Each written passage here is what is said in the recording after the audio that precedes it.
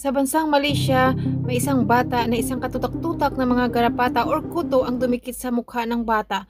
Talagang kaawa-awa ang batang ito. Tingnan nyo guys sa video na ito. Talagang kaawang-awa ang sitwasyon ng batang ito dahil ang mga garapata ay nagtataglay ng mga milyong-milyong bakterya at ito ay maaring magdulot ng pangati ng ating mga katawan at maaring magkasugat-sugat ang ating mga balat. So panoorin natin guys at alamin kung bakit dumikit ang mga garapata sa mukha ng bata at alamin natin kung paano tinanggal ng isa-isa ng doktor ang mga garapata sa mukha nito.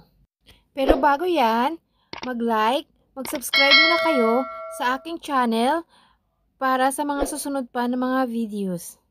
Para maiwasan natin ang ganitong sitwasyon guys, kailangan nating maglinis araw-araw. Panatilihin natin maging malinis ang ating kapaligiran at dry ang ating loob ng bahay para maiwasan ang ganitong sitwasyon.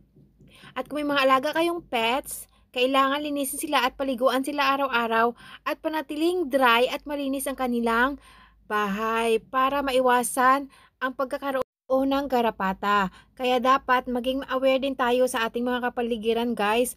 Huwag tayong palaging magstay sa maduduming lugar. At kung maglilinis man tayo ng ating bahay guys, kailangan gumamit tayo ng mga antiseptic or sabon para matanggal talaga yung mga bakterya kung dyan na kumakapit sa ating floor. Kaya dapat talagang malinis talaga guys. Maging aware tayo dahil para ito sa ating health.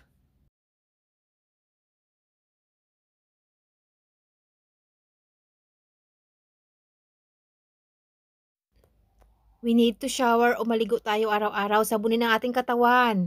Naawa talaga ako sa bata. Pagkita ko sa mukha niya, parang ako ang nangangati, ako nangangati sa katawan niya. Parang ang katawan ko yung nangangati dahil sa pagkita ko sa isang katutak-tutak na karapata sa mukha niya. Tingnan mo habang kinukuha ng doktor yung garapata sa mukha niya, nagkakaroon na ng nakikita mo yung parang sinisip-sip na yung blood niya. At saka nagkaroon na niya ng scars doon na tingnan mo nagbutas-butas na yung mukha ng bata dahil sa sa pag dikit na daw ng garapata sa mukha niya. Parang talagang nakakatakot talaga yung nangyayari sa bata mo. Tingnan mo, oh, may butas na yung, oh, tingnan mo, yung butas sa mukha ng bata. Oh, nandun parang dumikit na yung garapata. Parang gusto nang pumasok doon sa loob ng, sa loob ng balat ng bata. Parang nakakatakot talaga ang nangyari sa bata na yan.